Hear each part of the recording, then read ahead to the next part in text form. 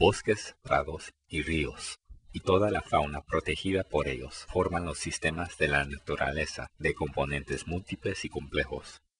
Empleados en el campo de la conservación del medio ambiente aseguran que estas partes funcionan juntos y que no se dañe la balanza ecológica.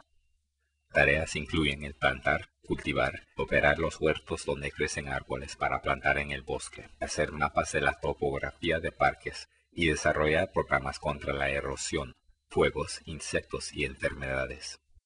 Personas con tales habilidades se emplean en agencias interesadas en proteger el medio ambiente, tanto como compañías de madera y papel que mantienen sus propios lotes de madera. Usualmente hay que trabajar largo rato sin supervisión directa. Pero si le gusta trabajar al aire libre, este trabajo le ofrece la oportunidad de pasar tiempo solito, disfrutando la belleza de la naturaleza